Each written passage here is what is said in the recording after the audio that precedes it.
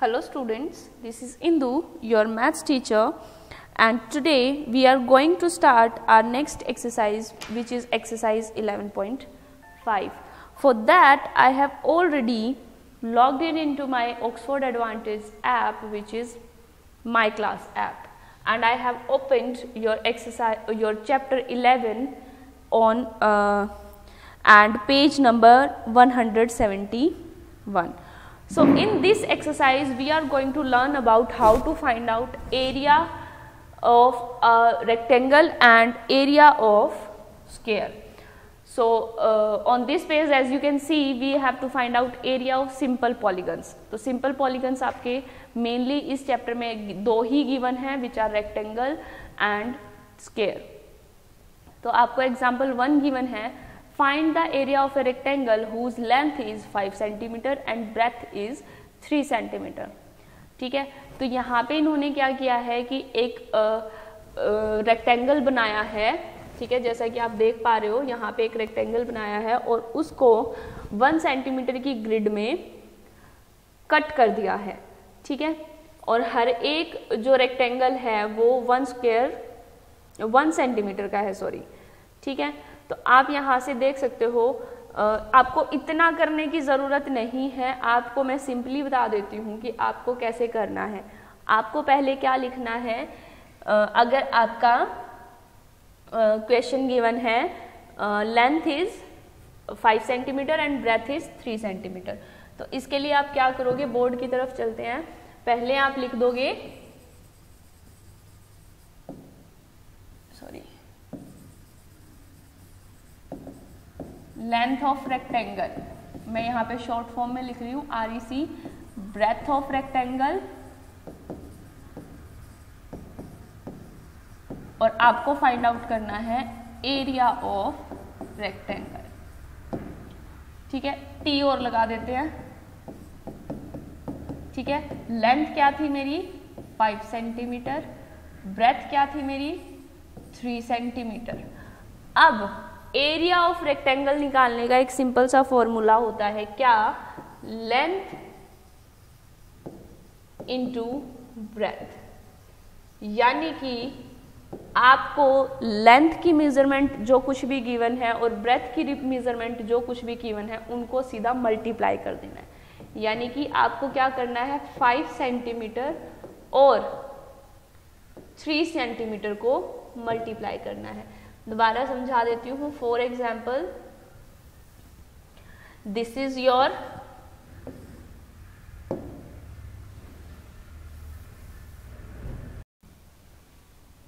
for example this is your rectangle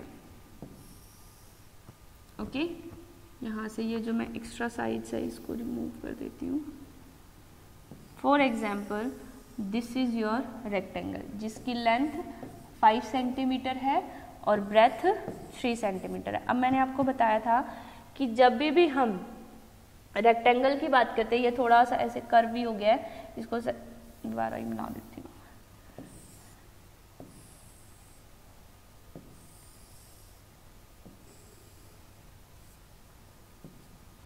ठीक है?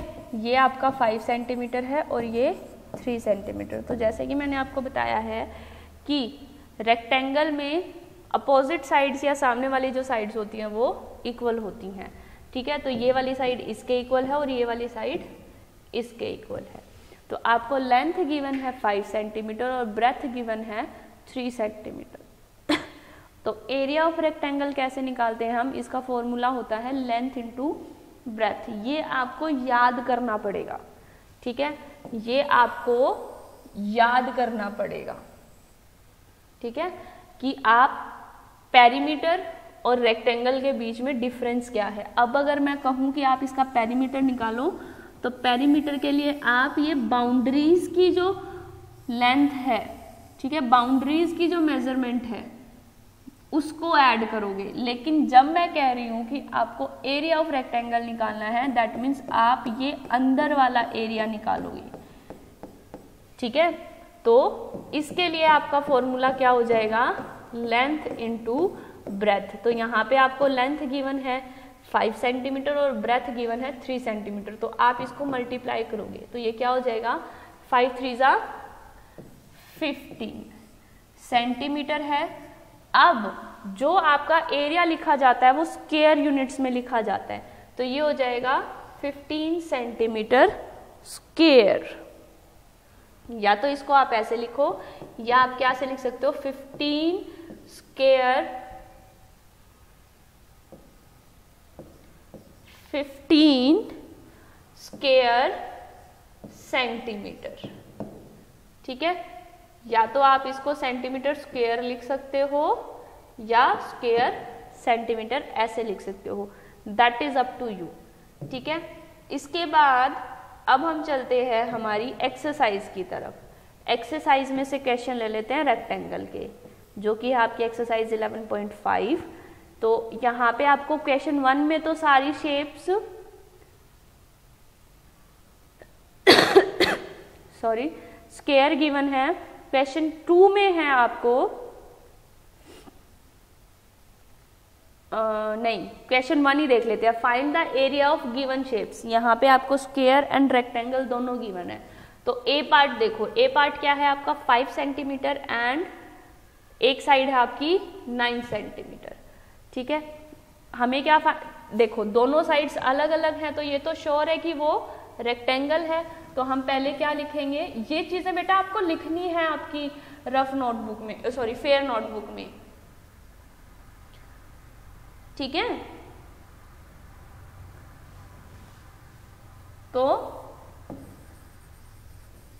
पहले आप लिखोगे length of rectangle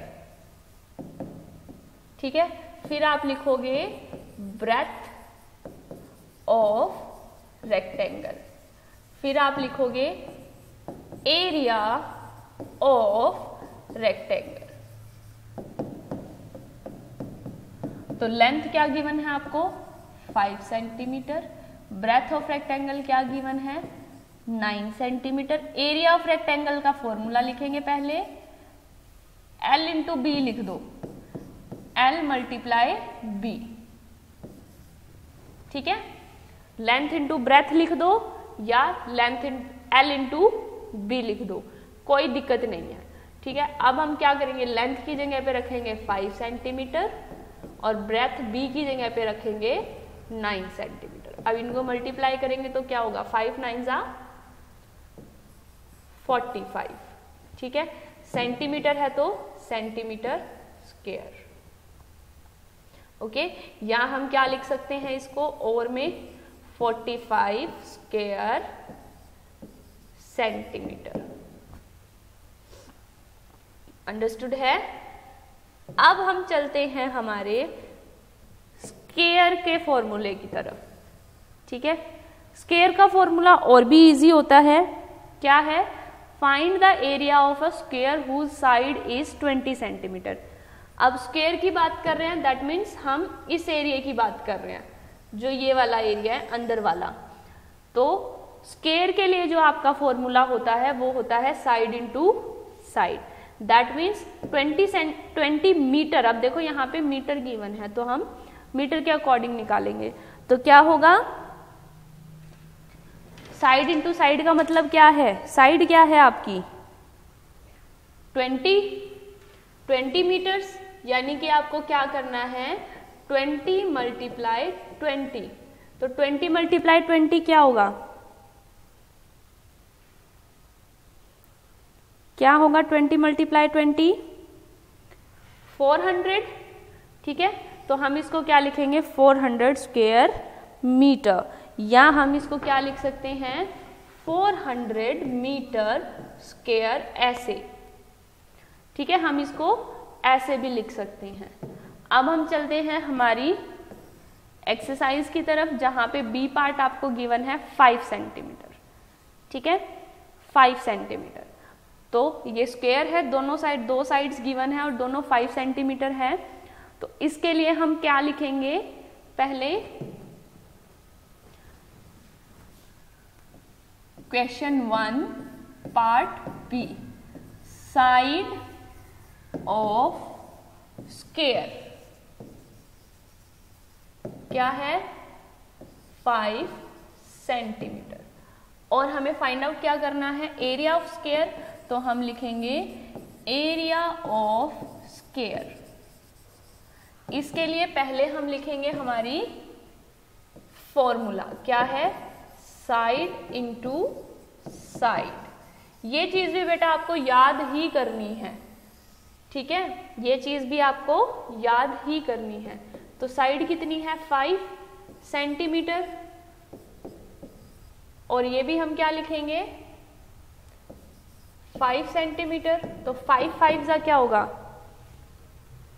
twenty five ये सेंटीमीटर है तो ये भी क्या हो जाएगा? सेंटीमीटर स्केयर और हम क्या लिख सकते हैं इसको? ट्वेंटी फाइव स्केयर सेंटीमीटर वो आपकी चॉइस है कि आप लिखना कैसे चाहते हो। लेकिन आप जब भी भी कोई भी एरिया निकालते हो तो जो आपकी यूनिट ऑफ़ लेंथ गिवन होती है, वो स्केयर में चली जाती है।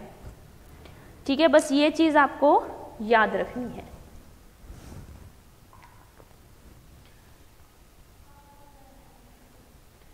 इसी का एक और एग्ज़ाम्पल है आपका 10 सेंटीमीटर अच्छा सी एग्ज़ाम्पल आप खुद करके देखना, ठीक है?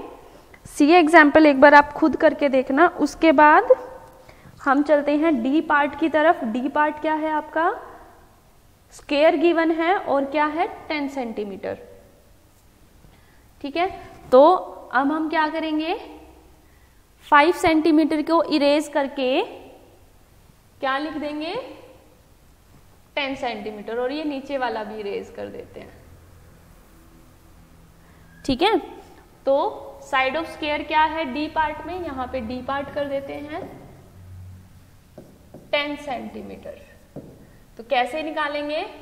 Side into side 10 centimetre multiply 10 centimetre तो 10 इंटू टेन कितना हो जाएगा? 100 सेंटीमीटर स्केयर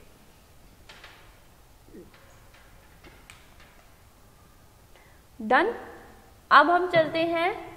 नेक्स्ट पार्ट क्या है आपका? Question two find the area and the perimeter of the given shape यानी कि अब आपको जो ये तीन शेप्स गिवन है, इनका आपको एरिया और पेरीमीटर दोनों चीज़ें फाइंड आउट करनी है। ठीक है? तो वो कैसे फाइंड आउट करेंगे अब हम? पहले देख लेते हैं रेक्टेंगल रेक्टेंगल गिवन है तो क्या है आपका? Four centimetre and eleven centimetre board की तरफ़ चलते हैं. क्वेश्चन टू ए पार्ट क्या है? पहले लिखेंगे लेंथ ऑफ़ रेक्टेंगल फिर लिखेंगे ब्रेथ ऑफ़ रेक्टेंगल फिर लिखेंगे एरिया ऑफ़ रेक्टेंगल तो लेंथ क्या थी आपकी? सेवन सेंटीमीटर, ब्रेथ क्या थी? Four centimetre. चेक कर लेते हैं, यही, सॉरी, इलेवन थी आपकी। ठीक है? तो लेंथ क्या है आपकी? Eleven centimetre. ठीक है? और ब्रेथ है फोर सेंटीमीटर। देखो, पहले हम क्या फाइंड आउट कर रहे हैं? Area of rectangle area of rectangle का फॉर्मूला क्या होता है? Length into breadth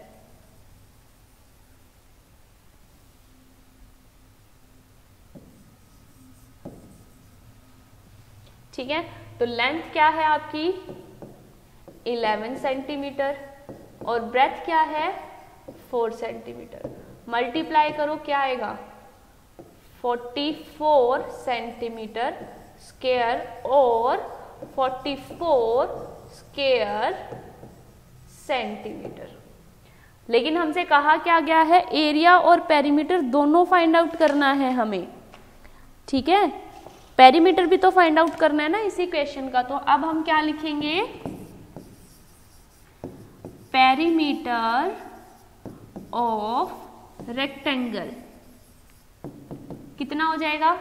perimeter of rectangle का फॉर्मूला क्या होता है?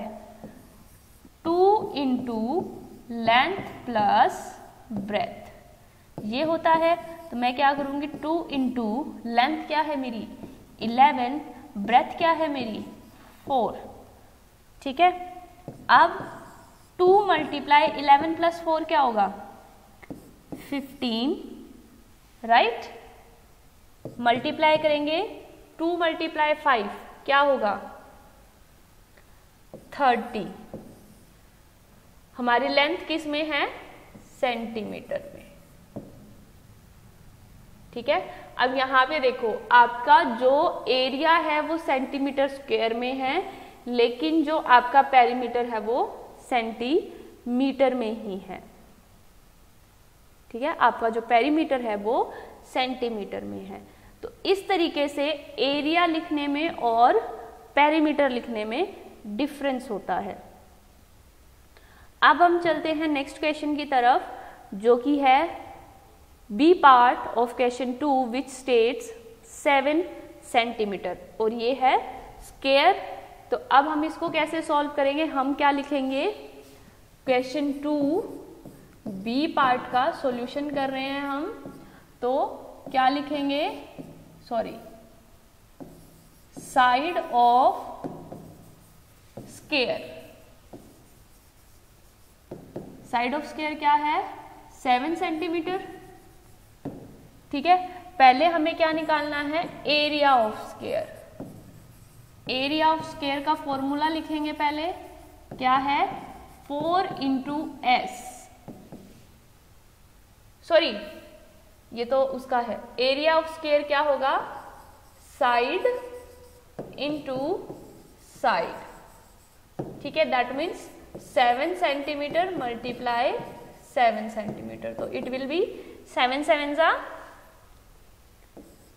49 सेंटीमीटर स्केयर और 49 square centimetre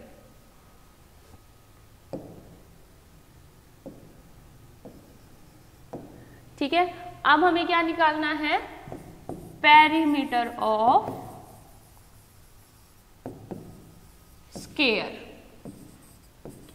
perimeter of square का फॉर्मूला क्या होता है? फोर इंटू साइड तो फोर मल्टीप्लाई साइड क्या है? Seven centimetre. तो आपका पेरीमीटर ऑफ़ स्केयर क्या हो जाएगा? सेवन फोर जा ट्वेंटी एट सेंटीमीटर।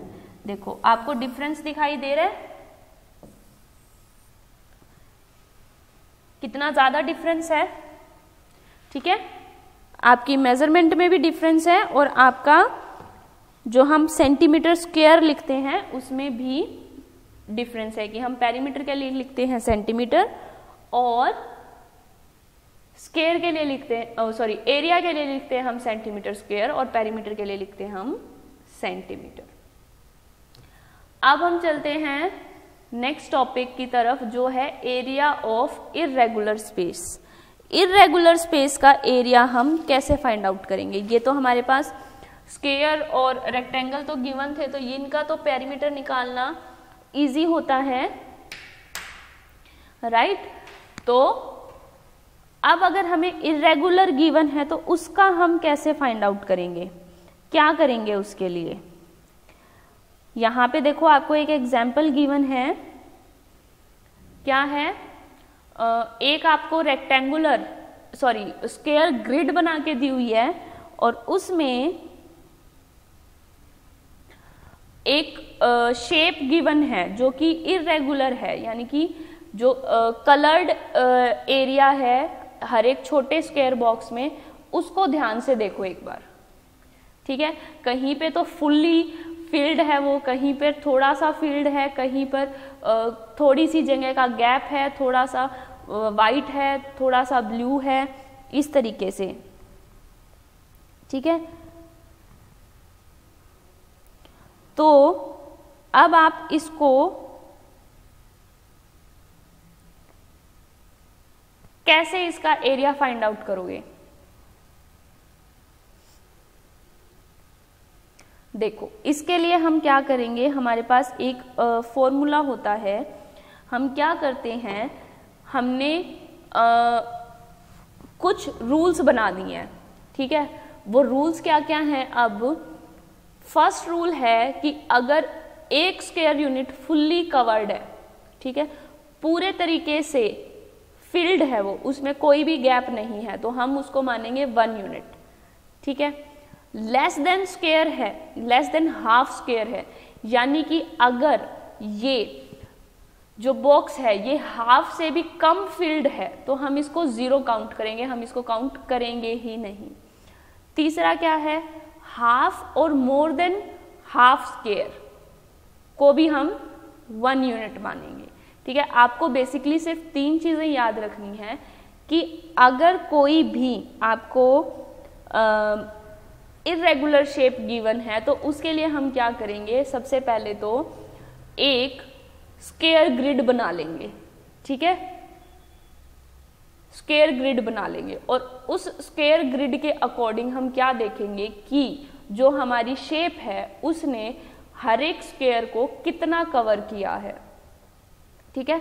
उसके बाद हमने क्या रूल देखना है कि अगर पूरा एरिया कवर्ड है, पूरा बॉक्स कवर्ड है तो वन यूनिट अगर हाफ़ या हाफ़ से ज़्यादा कवर्ड है तो भी वन यूनिट और अगर हाफ़ से कम कवर्ड है तो ज़ीरो यूनिट्स। अब देखो, जैसे कि यहाँ पे देखो, ये शेप गिवन है आपको। ठीक है? ये वाली शेप गिवन है आपको। ठीक है? इसका एरिया निकालना है। तो आपने क्या किया देखो, ये वाली जो, ये वाला जो बॉक्स था, इसमें हाफ़ से कम था तो हमने इसको काउंट ही नहीं किया। ठीक है? ये वाला भी हाफ़ से कम था तो हमने इसको काउंट ही नहीं किया। ये वाला भी हाफ़ से कम था तो हमने इसको काउंट नहीं किया। ये वाला इरेज कर देती हूँ मैं एक बार ताकि आपको और अच्छे से समझ आ जाए। ठीक है? अब वन नंबर देखो। नंबर वन जो है, उसमें थोड़ी सी जगह खाली है। That means it is more than half ठीक है? आधे से ज़्यादा है तो हमने इसको वन मान लिया।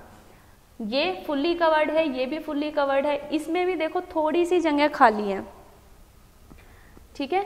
Six five four fully covered है नाइन टेन फुल्ली कवर्ड है, ठीक है? उसके बाद देखो eight eleven thirteen and twelve इनमें थोड़ी थोड़ी जगह खाली है, ठीक है? यानी कि ये हाफ़ से ज़्यादा है तो इसको भी हमने वन यूनिट मान लिया। लेकिन जो ये वाला था, और ये वाला था, और ये वाला था, तीन जो है, ये आधे से कम थे तो हमने इसको काउंट ही नहीं किया। और काउंट करने पे हमारे पास क्या आया है? Twelve units sorry thirteen units that means जो ये वाली शेप है इस शेप का एरिया थर्टीन स्केयर यूनिट्स है। ठीक है? और अच्छे से समझने के लिए हम चलते हैं हमारी एक्सरसाइज की तरफ़, जो कि है 11.6 अब यहाँ से देखो, आपको चीज़ें क्या याद रखनी है? अगर फुल्ली कवर्ड है तो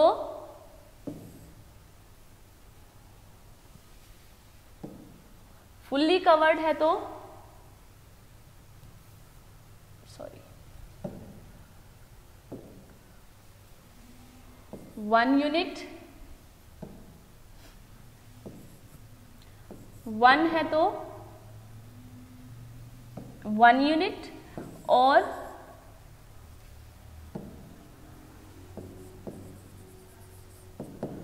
हाफ़ और more than half one unit और लेस देन हाफ़ ठीक है? लेस देन हाफ़ है तो वो होगा ज़ीरो तो इसके अकॉर्डिंग अब यहाँ पे देखो। आपकी एक्सरसाइज 11.6 में। देखो, ये कंप्लीट है one two three four five ये हाफ़ है या हाफ़ से कम है?